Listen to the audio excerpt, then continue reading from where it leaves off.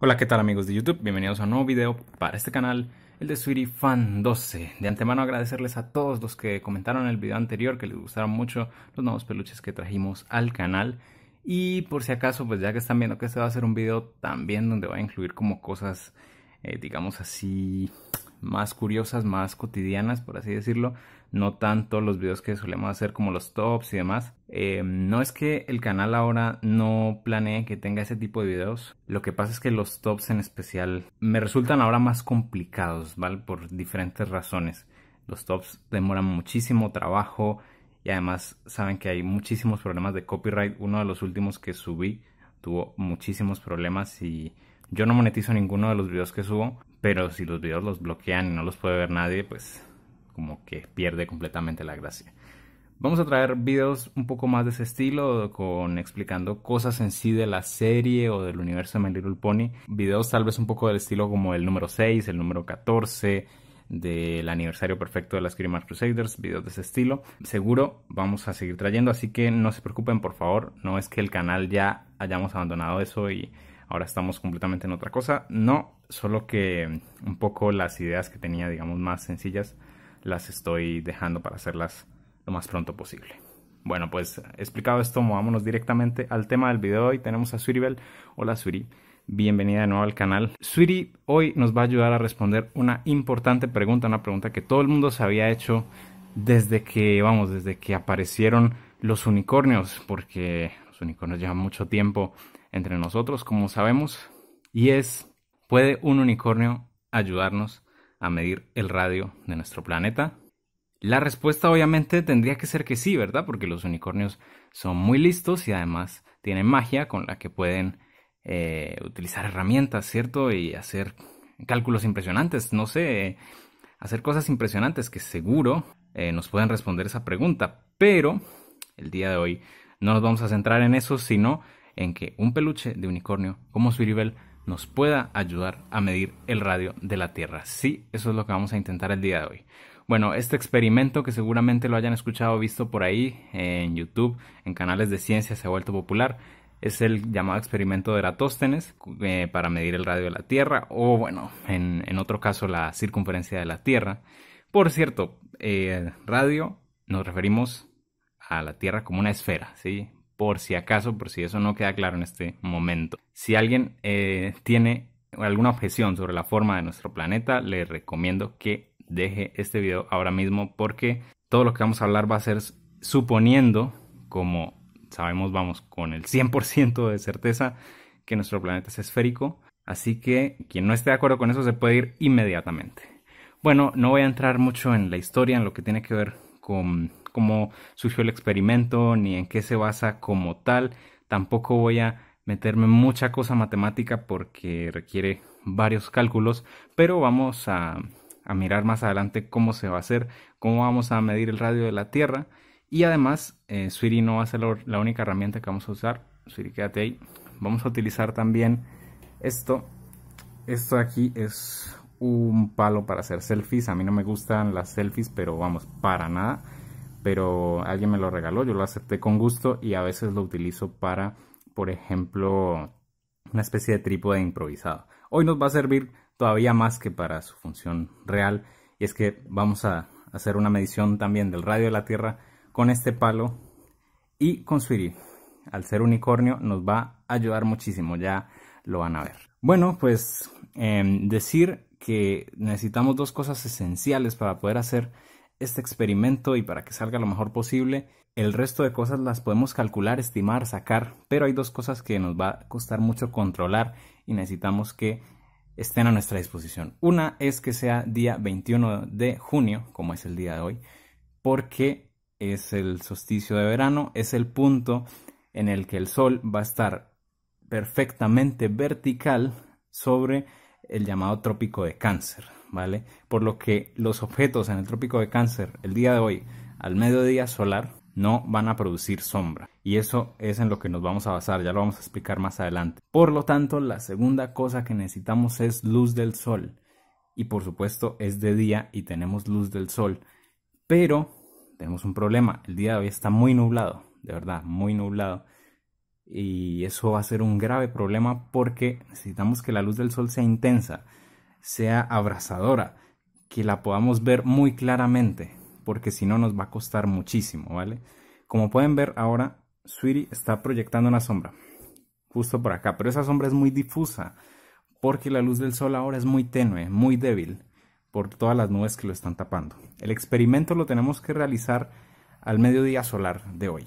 Para mirar cuándo va a ser el mediodía solar de hoy, me he metido en información meteorológica y me ha dicho que el día solar de hoy sería a las 12 y 6 del mediodía para mi ciudad. Así que tenemos, necesitamos que a esa hora el sol tenga vía libre para iluminar nuestras casas, nuestra área porque si no nos va a costar mucho realizar el experimento. Podemos esperar unos minutos, probablemente sí, y la medición no se va a afectar mucho, pero no podemos esperar una hora, dos horas, eso ya se sale completamente de control. Así que, dado el caso de que no se pueda hacer el día de hoy, trataré de hacerla el día de mañana, que ya no se supone que va a ser igual de precisa, pero tendremos un muy buen estimado. Pero por ahora, roguemos porque a mediodía solar a las 12 y 6 tengamos luz del sol y podamos hacer el experimento correctamente, ¿vale? Por ahora, Sweetie, tú vas a hacer nuestra herramienta y dentro de un rato vamos a mirar cómo nos puedes ayudar, ¿vale? Eh, ahora nos vemos.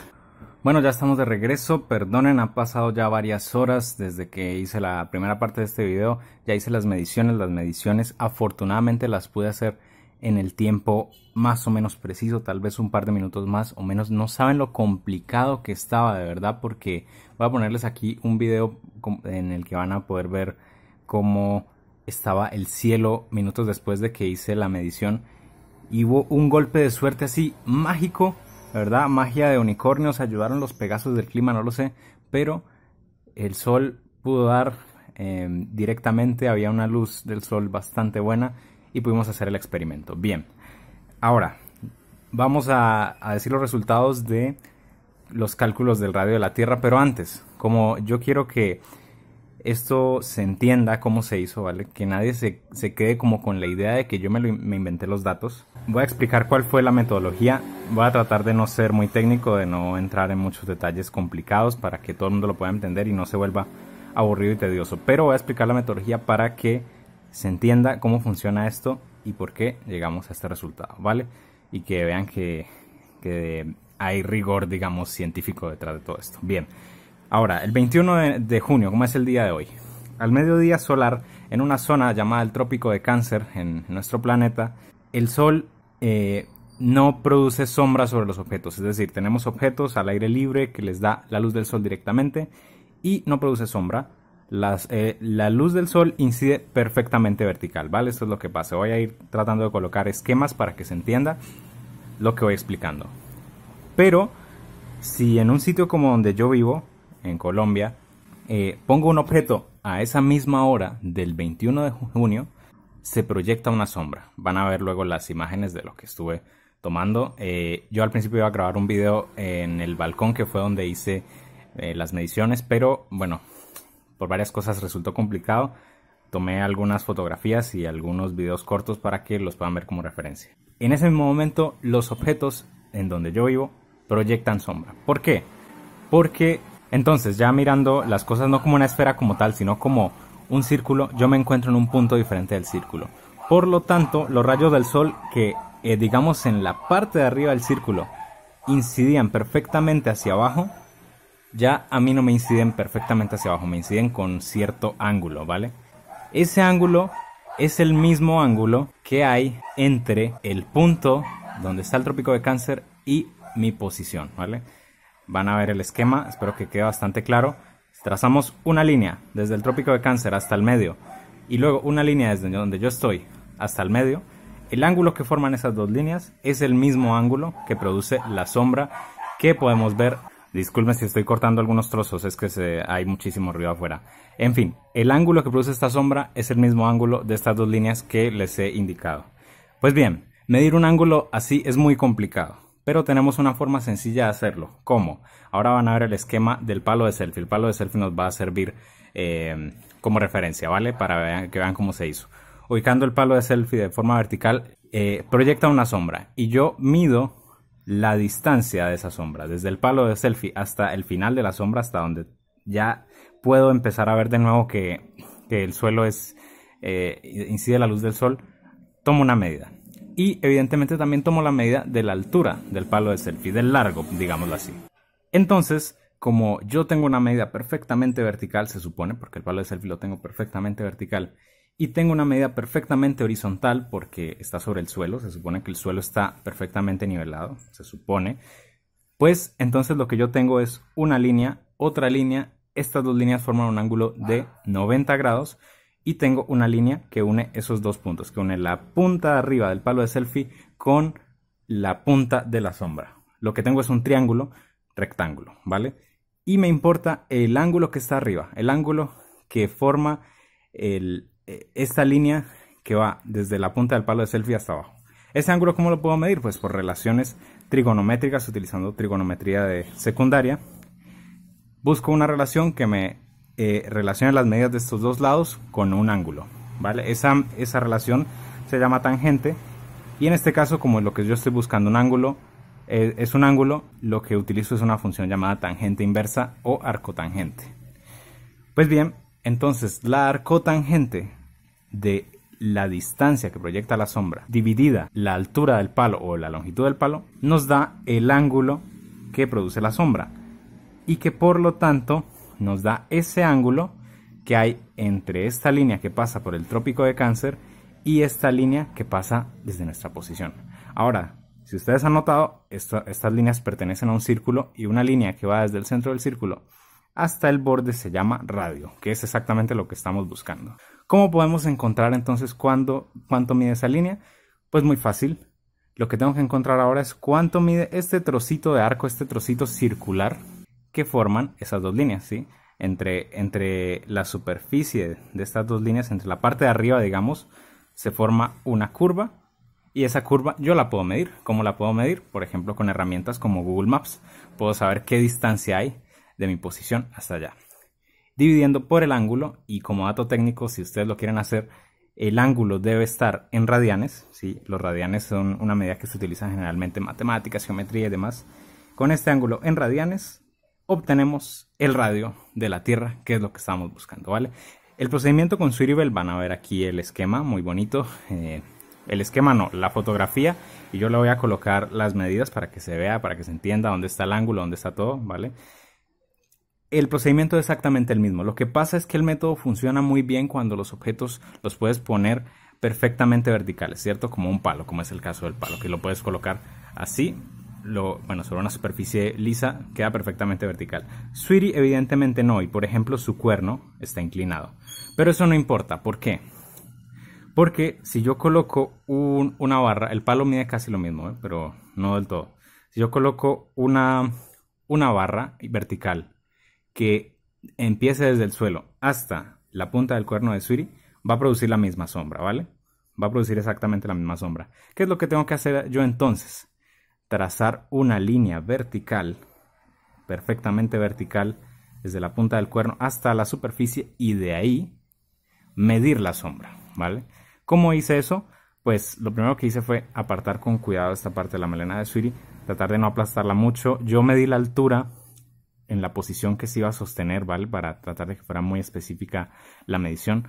Y entonces, colocando una caja de cartón cuadrada, rectangular, que más o menos tuviera esta misma altura, pero sobre todo que la pudiera alinear con el cuerno, pues desde esa caja, en el suelo, medí la sombra, ¿vale? Así fue como se hizo, para que ustedes tengan la idea. Se calcularon ángulos y ya con eso se midió el radio, ¿vale? Para que se entienda cómo funciona el método. Los que quieran investigar más, pues les recomiendo que lo busquen. Es el experimento de Eratóstenes y eh, pueden aprender más. Inclusive lo pueden hacer por ustedes mismos. No es completamente necesario que se haga el 21 de junio, pero es una de las formas más fáciles de hacerlo.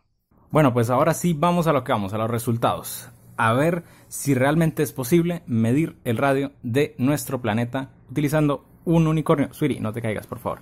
Eso es lo que te quería tocar. Vamos a ver si es posible y ya tengo los datos. Vale, voy a mencionar y se van a ver seguramente en, pantalla una tabla con el dato del, del, palo de selfie, los datos de Sweetie y la referencia real, ¿vale? Van a ir apareciendo poco a poco y los van a tener en pantalla para que los puedan ver. Voy a mencionarles el ángulo el radio y luego vamos a ver unas mediciones relacionadas con qué tanta precisión tuvimos, ¿vale? Es bastante sencillo, no, no se van a enredar, estoy bastante seguro. Bueno, comencemos entonces por la medición real. Se supone, bueno, la Tierra no es completamente esférica, pero la diferencia en los radios de la Tierra es muy poca y digamos que como promedio, según se ha medido y lo he revisado en varios sitios, la Tierra tiene 6.371 kilómetros de radio, ¿vale? Esa es la referencia, nuestro dato real y vamos a ver cuánto se, se acerca a nuestros experimentos. Muy bien, comencemos con el palo de selfie. El palo de selfie, el ángulo que me dio fue de 18.57 grados. Vale, el cálculo luego lo hice con radianes, pero como yo sé que esas medidas de radianes no las van a entender todos, lo coloco en grados, que es algo que más o menos todos pueden entender, ¿vale? Eso nos da un radio de 6.707,6 kilómetros. Aclaro que yo utilicé más decimales, esto lo hice en una hoja de Excel, lo calculé, lo calculé con calculadora científica. No creo que hayan errores en los cálculos. Hay errores en las mediciones, eso está claro, pero en los cálculos no debería haber, ¿vale? 6.707.6 kilómetros. Eso quiere decir que nuestra medida está 336,6 kilómetros errada. O lo que es lo mismo, tiene 336,6 kilómetros de error. ¿sí? Es decir, eso es cuánto nos hemos equivocado. ¿Es mucho o poco? Bueno, lo podemos calcular. Em, básicamente, eh, yo, lo que yo he hecho es calcular el porcentaje de error, es decir, qué tan errada está la medida. ¿Vale? Hay unas ecuaciones para hacer esto, no las voy a mencionar. Pero lo que he encontrado es que nuestra medida experimental con el palo de selfie ha sido de una precisión del 94.72%. Eso creo que no está nada mal. Ustedes consideren que estos datos se midieron con un, una cosa que mide 26 centímetros, ¿vale? Esto mide 26 centímetros y con esto calculamos una medición de 6.000 kilómetros. O sea que es lógico que como no podemos medir con cuidado cada nanómetro de esto, nos equivoquemos. ¿Vale? Así que tenemos bastante buena precisión. El palo nos funciona, ¿vale? El palo de selfie funciona para esto maravilloso. Ya tenemos una función muchísimo mejor para esta cosa. Pero la pregunta persiste. La pregunta persiste. ¿Se puede medir el radio de la Tierra con un unicornio? Vamos a ver. Vamos a ver qué nos arrojan las medidas de Sweetie. El ángulo que me dio midiendo con Sweetie fue de 19.03 grados. ¿Vale? No se aleja mucho del palo de selfie, ya es una buena señal. Esto nos da una medida de 6.545,6 kilómetros del radio de la Tierra. Eso quiere decir que nos equivocamos por 174,6 kilómetros. Yo esto es una cosa que no me lo puedo creer. O sea, la medida resultó siendo más precisa con Sweetie. La medida resultó siendo de un 97 .26% de precisión con Sweetie. ¿Cómo puede ser esto posible si eh, es mucho más recomendable hacerlo con un objeto que puedas poner completamente vertical? Y con Sweetie ha salido una mejor medida. No lo puedo creer. O sea, de verdad yo no me esperaba esto. Yo no sé si he cometido múltiples errores en la, en la medición. Yo traté de hacerlo lo mejor posible. Traté de, por ejemplo, no aplastar a Sweetie para que disminuyera su altura eh, de fijarme muy bien en la sombra, o sea, que la sombra realmente la proyectara el cuerno, de hacerlo rápido, que no pasara el tiempo, que el sol no se moviera. Y es increíble, o sea, hemos calculado el radio de la Tierra con un 97.26% de precisión utilizando un unicornio. Eso quiere decir que sí se puede calcular el radio de la Tierra utilizando un unicornio y es mucho mejor que el palo de selfie. Es que no lo puedo creer. Es increíble, o sea, ¿Se dan cuenta de lo fuerte que es esto? A ver, enfoquemos un poco, que se vea bien. Perdón si se está viendo desenfocado, ya saben cómo va un poco esto. Me interesa un poco más que vean bien los datos, los esquemas, no tanto lo que estoy mostrando ahora. Pero es increíble, o sea, lo hemos conseguido. Estoy esperando un buen tiempo para hacer este experimento porque quería hacerlo bien, quería hacerlo con, con, todo, con todos los instrumentos, digamos, adecuados, el día adecuado, a la hora adecuada se ha podido hacer muy bien y el resultado ha sido excepcional. El resultado ha sido increíble, yo no me lo creía, lo calculé varias veces, utilicé una hoja de cálculo para mirarlo con más cuidado eh, revisé las indicaciones del fabricante para ver si, eh, si por ejemplo, estos peluches de, de tenían la medida que yo había mirado. Así que lo hemos conseguido, Bronies, Pegasisters. Hemos podido calcular el radio de la Tierra utilizando un unicornio. No sé cuántos habrán hecho este experimento alguna vez con un unicornio de peluche. Sweetie, tú estás haciendo historia en el mundo de la ciencia el día de hoy. Y ustedes también, que están viendo este video, están apoyando este canal todo el tiempo. Se los agradezco muchísimo. Espero que les haya gustado esta curiosidad que hemos hecho hoy. Un experimento que a mí me parece muy interesante y que ha arrojado unos resultados increíbles y que le hemos agregado, como siempre nosotros los bronies, nuestro propio toque. Espero que les haya gustado, por favor dejen todos los comentarios, dudas, opiniones, todo lo que quieran decir sobre este experimento, sobre futuros videos, sobre antiguos videos, en los comentarios, se los agradezco mucho. No olviden darle a me gusta, porque yo creo que este experimento se lo merece. Suscribirse si quieren más videos y nos vemos en la siguiente ocasión. Muchas gracias por hacer parte de la historia, Sweetie. Nos vemos en la siguiente ocasión. Hasta la próxima.